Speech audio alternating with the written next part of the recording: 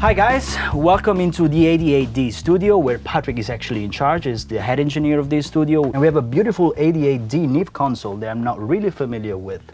Could you please, Patrick, tell us a little bit about the studio, your history, how you ended up uh, getting in here? So basically your journey to the Galaxy studio. I was uh, 18 years old when I had to decide what to do. And uh, I was a musician. I was a, still am, a French horn player. All so right. more from the classical side That's of cool. music. And basically, I always wanted to do something with music. And a friend of mine uh, was studying um, sound engineering in Düsseldorf, a Tonmeister course actually, Okay. at the Robert Schumann uh, Music High School. And uh, he said, "Oh, you know what? Come along. This is very interesting. Even though you're not very technical, I wasn't technical at all. At all. I come from the music side of things." And I went there. I visited him, and I thought, "Oh, that's not bad. Let's apply for a for a place there. Lucky enough to get there. So I studied there for five years, uh, Tonmeister. I wanted to come back to, to work in Belgium.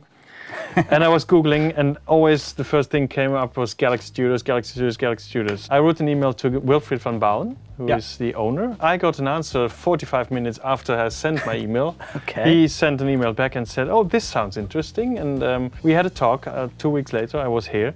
He said, Well, it's, it's great that you have this kind of education because that's what he had as well. He's a classical musician, uh, he is an organ player, basically, and before that, he was a trumpet player. So already there was a, a very quick uh, link, Yeah. click between us. And he said, Yeah, I'm actually looking for an assistant engineer here. But before you, you can get that, we have kind of a internship period uh, that you have to do. And uh, this will be like, you know, between six and eight months and unpaid. Yep, a lot of commitment, I guess. And I thought, I have to start here, internship, eight months, not unpaid. That's not fair. But then I thought, oh, I saw this place, and I mean, obviously you guys have seen it. It's just an amazing place. I just And want to was sleep a, in here, man. a very, very big chance for me. And I thought, you know what? Consider it being like an extension of your studies. Yeah, You, you it's a nice way of Exactly. So this will be my internship at the end of my studies, and I will learn some stuff. But then very quickly, I started here as, as Wilfried's assistant, and um, very quickly he left to me all decisions about which microphones to put where. This gave me the possibility of learning a lot of things without having the pressure to be the responsible one for it. Yeah. You know, so I could test out things. I could change microphones. I could change uh, setups. I could change preamps. Um, while he would come in and he would think, oh, or tell me afterwards, I've never heard our string section sound so good like this. What did you do? so I, I was just experimenting without having to deliver the, the result because he was responsible for it. Correct. I built uh, an enormous uh, treasure of experience by this. I did that for three, four years with Wilfried.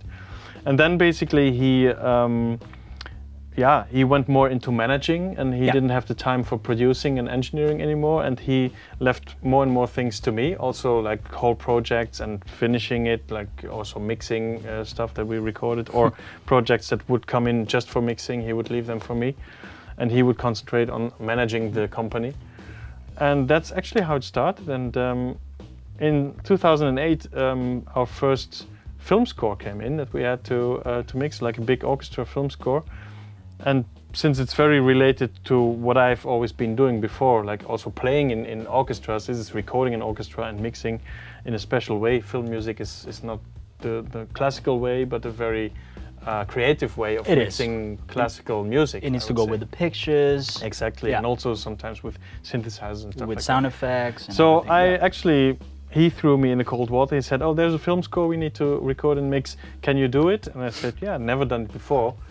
And I've been specializing and I've been uh, developing workflows here together with my team, so that we are very pro- professional on on a, on a par with London studios, Yeah. which are famous for film score recordings.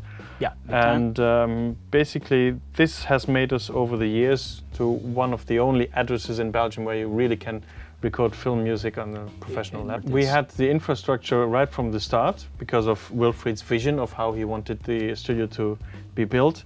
And then what we brought into it is basically the, the professionalism of the team and the workflows. How can you record things quickly? How can you mix and like record stems at the same time without losing time by printing multiple stems and stuff like that? so Uh, you develop your own way of working in order to absolutely, speed up and, the and um, of course, worked with external engineers that eventually would come here and would tell me. Many London engineers came here and, tell you in other talks. They, would say, "Oh, we, we do it this way, and you guys do it that way. That's great what you do, but this I would rather do like this." For so this we learn That's that's good. from other people, and other people see how we do it and are quite impressed with what we do. yeah. Being a little studio in the no, middle of nowhere in Belgium, and not being in London or Hollywood or New York. Which to me is Um, also one of the secrets of this place. Clients appreciate that a lot because basically, when you're here, you're working all day long in noise. Yeah. I mean, don't call it noise, call it music. Yeah. But uh, you hear sound all the time. So it's really, really nice. And uh, after having finished, after having wrapped up at night, you go out and you sit on the terrace, you have a beer Exactly. together or a glass of wine or water, Yeah. whatever. And you, you hear, yeah, some birds and nature. Itself. Yeah. So that's that's actually very good. And if you have to stay for a week, if you do a recording like I'm talking now, the composer, the engineer, or whatever, or even a band that is recording here, they really love the evenings outside and, and the quiet uh, and the fact that they can go out of a terrace door and see the cows Yeah. uh, five meters away.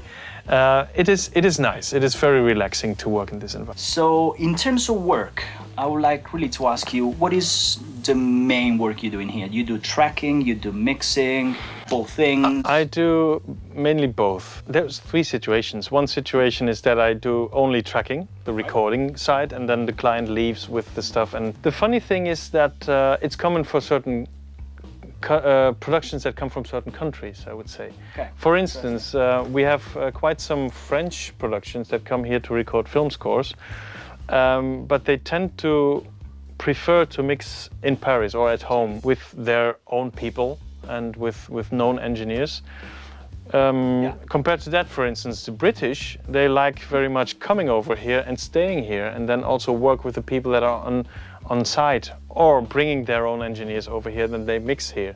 yeah. Um, Okay. so I do for the French guys. I do a lot of recordings and they go back again. Then for the British guys, um, I do both. Either they go back or they stay here. And for everything other than like say everything that's Benelux, they come here and and record and mix. And some of them just come here for mixing because often the local market doesn't have the budgets for big recordings in Belgium because the price of the musicians are quite expensive Yeah. compared to Eastern Europe, for instance, Prague, Sofia, Totally. um, Yeah. Skopje in Macedonia. So I, I have a couple of clients that um, go and record over there, and then they would come here and, and spend the ma- main part of their budget that they have to get the quality mixes. So they mix with me here um, uh, because otherwise, I mean, over there you can't really mix. You can record cheap, I would Yeah. say.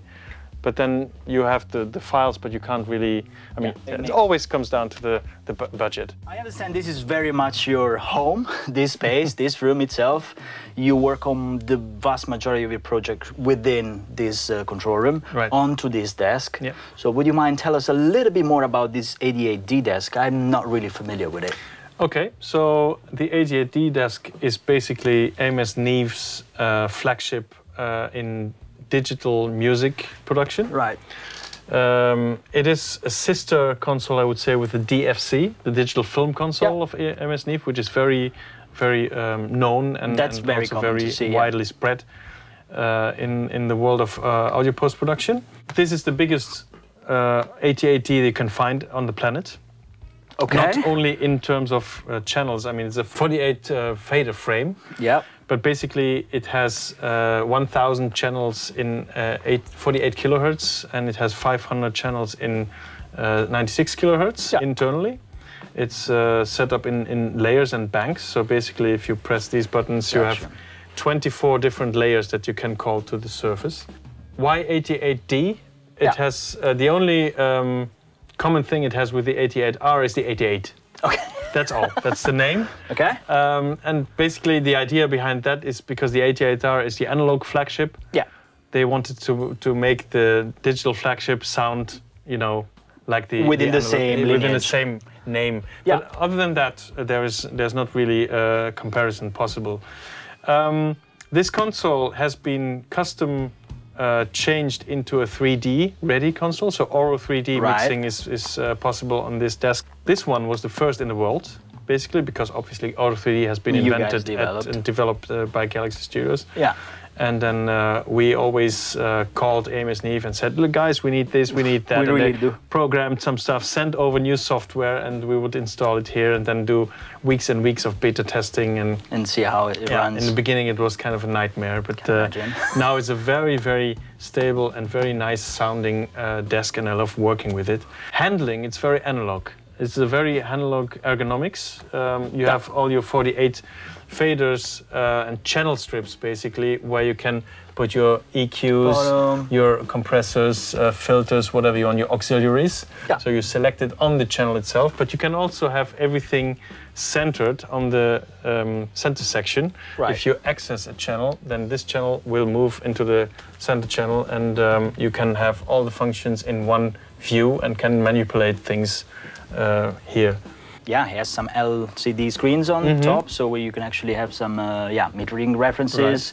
Can show up, uh, I guess, yeah, different EQ curves if you have a compression setting, Yeah, absolutely. auxes, but you can also see it on the strip themselves as well. Yeah. Just need to know where to hit the right button, and there you go. Now we're looking at the EQs onto that channel. Exactly. And if you want to even bring and expand those controls over the center section, it's just a matter of focusing the channel, and now you have total control over that Mm-hmm. Yeah. channel over there. That's Yeah. You that's see everything in one cool. view, yeah. Of course, I see. And you don't need to move out of the middle, which is That's uh, that's another very important. That's actually a feature that you find I don't know on the S6 on all of those uh, Mhm, control exactly. surfaces because that's one of the Yeah. main challenges to be able to bank channels, make sure that you can control them from the sweet spot, especially in a big room like this. Yeah. It gets really, really, really important. All right. And in terms of sound, I'm sure that this is as clean as you can possibly get. It's very clean, but it's not sterile. I Okay. mean, this is um, what you often think about digital consoles is that they don't have character, they don't have uh, warmth, or they don't have um, special, yeah, a, a, a A- nice sound. A tone, yeah, Yeah, something that yeah, you can take something out of it. characteristic.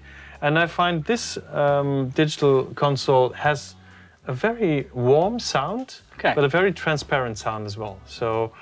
Um, Tons of headroom. yeah, tons of headroom. And uh, I mean, if, if I mix sometimes with film scores, I, I mix 200, 300 channels together. You need that I- headroom. yeah, and, and it still sounds open, it still sounds transparent. yes. The summing of this uh, console is great. And also, what I love about this, every single um, function is automatable.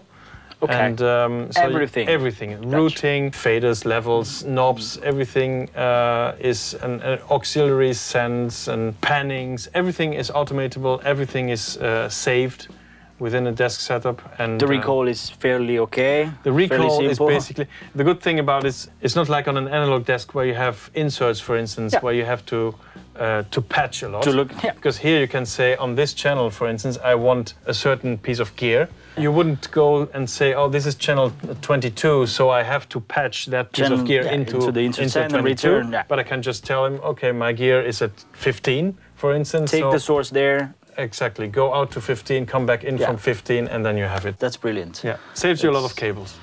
Saves you a lot of cables indeed. I mean, sometimes they don't realize it really takes a lot of effort to properly recall a mix, especially if it's on an analog console. And to make sure that everything is going to be sounding exactly the same means that you need to recalibrate everything Yeah. and making sure. Yes. So that takes a lot of time. and then And- keep comparing my original Yes. and what have I now. So that you're gonna What is always the difference? There is something, and there's maybe one button that's tiny. And little man, bit. that is super Yes. trivial, and it's and uh, when you Forget get, that with this one. This I mean, is just yeah, that's uh, that's the thing, and to recall have uh, takes two minutes. Yeah, I mean, I love that. So, and I'm sure you're using plenty of uh, outboard preamps. I mean, I've seen 48 Neves in the live room, which is the proper way. Yeah. So they're closer to the source, and Yeah. you get balanced line outs Yeah. straight up. I have 60 uh, Neve preamps. So you got more in I there? have 12 here Okay. and 48 out there. Yep. This is because the desk itself doesn't have preamps. Yeah. These are the preamps of the. So this uh, is accepting line ins. Exactly. basically. Yeah. So we we try to be as close as you said uh, with the source. Makes total uh, sense. To to go uh, on to line level, and then basically the signal goes into the machine room where it's by, by the Neve converters will be transformed from analog to digital. And as of that moment, it always stays digital in this room. We have a, a digital Pro Tool system, 96 in and 96 out. Yep. And I have a second uh, Pro Tool system for printing the masters. I have my Pro Tools 1 is my tape machine, I would say. Gotcha. Goes through the desk, and then my masters will be recorded on the second system because doing film score, you often need to record stems, Yeah. 5.1 stems, and some sometimes it's 10 of them.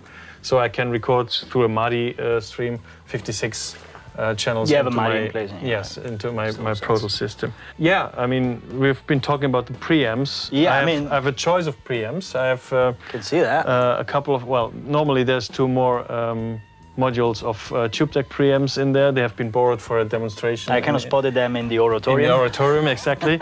Because this is not really a, a recording area. They don't need preamps but uh, they Wilfried, were doing some. Wilfried came in yesterday night and said oh we need preamps. I, I can't find any preamps. And I said okay get these ones because I have There you go. so, now, So a it's no couple of uh, Tube-Tech preamps, right. Right? um, and then yeah some summits down there as well if we go further we see all my compressors Yeah, when we, you know, when I accessed the room the first time a few minutes ago, I was like, uh, wait. So you basically have planned this so that you get all of your front end mic preamps Yes. and compression, Yes. so dynamic sections onto that side of the rack, Yes.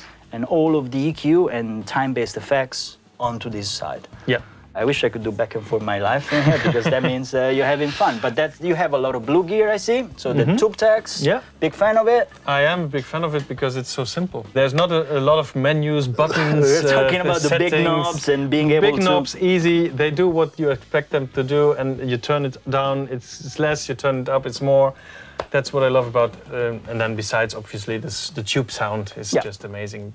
And then uh, it is a, an advantage to have if you have a digital environment to have you all these analog things. If you want to add a little bit of this analog warmth, tube warmth, You can pass through uh, the you units. just pass through, through the units. I mean, this room has been um, built into an Auro 3D room in Yeah. 2009. okay. So meaning that these speakers have been built in the walls. yeah. It has been a total uh, revamp of the room. Everything has been emptied. It was just the, the concrete walls and those two speakers were there because before it was a stereo room with just those two uh, big Genelec speakers. So all of the ceiling, the skylines, everything. It was it was even lower. It was like in the other rooms that you have seen. Yeah. And then uh, because we needed the height for the height speakers, Yeah. uh, we expanded uh, it to the really up there behind this speaker in the ceiling Yeah. is the concrete uh, ceiling. You couldn't go any higher. Gotcha. So basically, at that moment, um, since I was already the resident engineer in this room, I got the opportunity to really design it the way I wanted. Cool. So together with back in the time the facility manager, we drew plans and he was asking me, how do you want your gear? The classical layout is basically that you have your console and you have a your gear in the back you, of the yeah. console. In the room where I was working before, I had this uh, rack that was behind me. It was put on wheels. Yeah. And I could uh, put it to the sides when we were doing film score because uh, then we could have like the production team come in uh, sitting here. We could even put the console further back and have a screen come down so that we could have projection Going on the on, screen yeah. and it was more was more like a, a dubbing stage uh, Indeed. setup. Indeed. And that was an, an invention of Wilfried's. He, he had the idea that a music control room should be multifunctional and you should be able to do dubbings as well. Yeah. But back in 2009, we were already planning to change some rooms into dubbing stages, like uh, fixed dubbing stages. So there was no need in being flexible in this room In this anymore. one. And we were thinking, yeah, shall we do it back again, like with the, the rack in the back, so that you can turn around And do that. and do that. But I thought, no, I, I actually like the space. Um, wanna use if we put the racks to the sides. And also, if there is a production of nine or ten people in the room, it's much nicer for them to be involved in the listening area Instead of having a wall of gear. behind the Yeah. gear. Yeah. So um, That makes sense. And the compromise is obviously if you need to manipulate the sound, you have to go there, come back, listen. Which is but I can live with that. That's that's not a big problem. I mean, I guess it's just a matter of getting really used to it and Absolutely. knowing uh, very well the room, very well the equipment, and kind of realize that you can, yeah, even EQ a violin from that position Yeah. because you've been doing hundred times. Having said that, basically, if I EQ a violin, I would do it on the on the desk anyway. And that's the other Um, part of con- the conversation I want to have with you, which is I know you work with uh, film score, so a huge amount of tracks, Mm-hmm. right?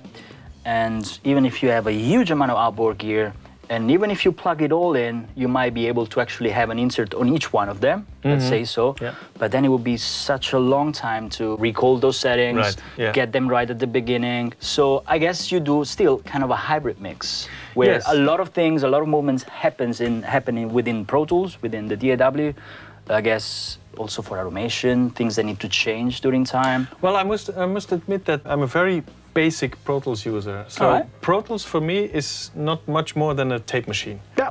I record onto Pro Tools and I play back from Pro Tools and I always mix on my console. This is your pr- processing mixer, yes, so yes. The only thing I have to do sometimes in Pro Tools is because obviously I, I have only 96 outputs from Yeah. Pro Tools, Yeah. and uh, uh, that's by far not enough for a film score. So I have to sum.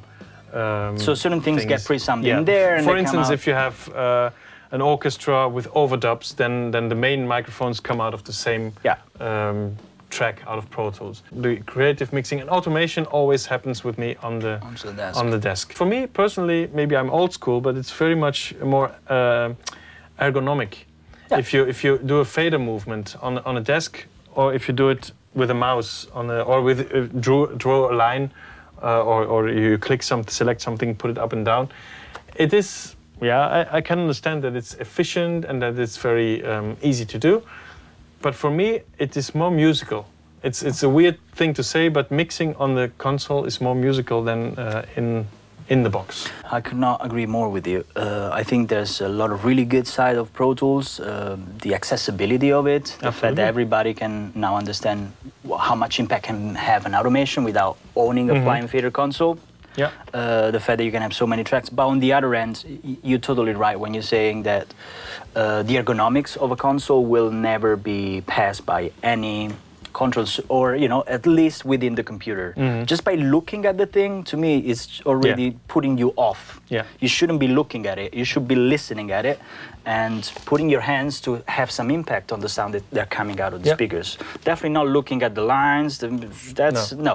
but i understand that the up and coming engineers of course that's the quick and the best way to get access Well, and it. then you always have the uh, the budget thing as Yeah. well. It Yeah. comes down to budget because who has the money to invest in something like this? only if- major studios Yes, and then still clients say, "Oh, but I want to be able to make Open adjustments open in my until the very last moment." Imagine just in the case of a film score, you're just in the middle of the of the chain. Yeah. You're not at the your product and the end of the music mix is not the end product. no you got the It dialogues goes the to the dub, uh, yep. and there the music will be manipulated even more again. Correct. And then sometimes, I mean, obviously, I print stems so that they can do if, if they, they they think that some parts of the mix are too loud, others are not, they can take them down. Composers also prefer to go to the dub and, and have the mix on the Pro Tools, The whole mix the whole up. mix, so that they can. And only have their Pro Tools outputs onto the mixing console, Gotcha. which is then the the premix, so so Yeah. to speak, of the music, and they Yeah. can do adjustments as they go onto uh, the, in the final. singular tracks Yeah. okay If you buy a, a full blast Pro Tools system Yeah. compared to a full blast digital console yeah with a Pro Tools, system, because you still need the Pro Tools as a tape machine. DAW, yep. Yeah, there, there's a couple of zeros in between those Yes, two products, right? absolutely. So just want to ask you a couple of things. First, uh, I think it's something that I, you know, I get asked a lot. If you could give one or two suggestions, tips, call it the way you want it, to up and coming engineers, just to what, what are the things they should really be focusing on? Is it the gear? Is it the education? Is it the putting a network in place? I mean, even by just by listening at your story, you're like, you know, one of the big thing for me was that I got picked up here is because I had multiple language skills. That's the same thing happened to me. You know, I was hired on the Lennon bus when there were only three engineers and they were picking up from Europe. And it's like, why do, did they pick me? So Yes. of course you need to be trained to be able to operate Pro Tools, whatever comes at you. But on top of it, to have those extra features, that for me, that, that might be opening doors that you would not expect. Mm-hmm. And for me, the, the ability to speak more than three languages, it was a door opener, big time. Yeah. So wh- what is your, you know, your main tip for the up and coming engineers? Well, I, I would say All of it. all of it, yeah. No, personally, I think the most important is not so much the best, the best, the best, the best, the best, but uh, the most important is that you're convinced of yourself Good. and that you have good ears, Yeah. and even if you have bad ears, but that you. You, you know what you hear. You have to be good at what you're doing because there's plenty of people out there Yeah. that want the job that you want as well. Yeah. So you have to be good anyway. But then, secondly, I find it very important that you keep trust in your ears, your ears, not Yeah. what everybody says, but also if someone like criticizes you for it, you have to say, okay, Yeah. you're right, you can criticize me, but I still am going to do it this way because there is no right or wrong. There is just uh, taste in a way, and Yeah. there is, uh, th- of course, you can make mistakes. Something can be wrong, but supposedly things that are right, Yeah. um, sounding this way or that way, is just a matter of taste, and you have to be diplomatic Cool. because basically you're not the boss. The boss is the No. client. Client is king. Yeah. You have to be open, and that's also a main thing for young people. Be open. Uh, try things. There is no there is no laws in music mixing or recording. Yeah. I, I would say there is there are no any aren't any rules. There are a couple of rules that uh, are very self-explanatory. Correct. But other than that, trust your ears. I'm a teacher at SAE, and the students I every day teach, they all come to class with their opinions hmm. that they probably got off forums. Now, of course, there's so much information out there. Some of them is misinformation, some of that hmm. is actually fake, some of it is just people talking because they have the chance to do it. What I tell them is like, that's great you did that research. Try to apply, try it out hmm. in a real environment, compare it with what the way you were doing it before, see what you like. And there's not gonna be a one answer for No. all of the scenarios. No. So bring up a palette of different techniques that you can utilize. Take informed decisions, Mm-hmm. not just take what's being told because somebody bought that piece of gear and thereby he needs Right. to say that it's a good piece of gear. Yeah. No, that's what I call buyer remorse on the forums. Yeah. It's like I bought that, it needs to be the best thing. No. Going back to the up and coming engineers, you don't need to have such a you know full state of the art studio.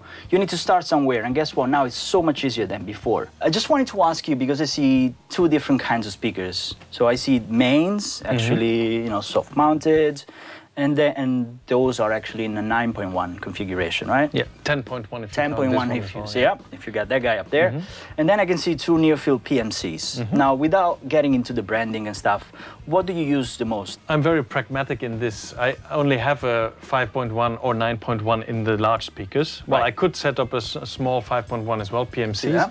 But basically, when I do 5.1 mixes for cinema, like for film score, uh, it is supposed to be played back in the end on bigger speakers because it's in the cinema. It's not you, you. You wouldn't mix that on near fields. You- so yeah. that's why I, I use the the Genelecs. I use the PMCs a lot when I do CD mixes of, of whatever kind because I make my main sound on the Genelecs, but I always check them on the small speakers because the PMCs are not necessarily very nice sounding speakers, but they are very transparent and very analytical. They reveal a lot of details that Exactly. would be so buried or things, in- things that you think are perfect on, on the Genelecs, you would switch to the PMCs, And you're and you think, oh wow, there's a lot of high end, or there's something, or the mids are not not correct, or the Cool. balances, there's something comes out too much, pops out too much, or something is hidden. They have a, an incredible depth in in, Mm, in the there, soundstage. in the soundstage, and and also, again, they sound crispy. They, they don't sound uh, very, I would say, it's not very hi-fi. Yeah, yeah. But you you can exactly spot what element of the balance is wrong on these speakers, which is not as easy on the On the big on the ones. big ones. Yeah. I got you. Well, man, thank you so much for having us here. My pleasure. And uh, maybe you're gonna see sometimes next soon. I hope so. There was an at, at the backyard of my parents' house, yeah, which is here in front, yeah. So, here around. Yeah, that's here around. All yeah. right. There was an nice. old empty chicken coop, yeah. And Okay. there that that was the first idea, yeah. So the first idea that we are going to rebuild that chicken coop in a demo studio. Wow, man. Yeah, that was So it. that was the first, let's say, the first stone you set up Yes. to what we are Yeah, looking at right yeah.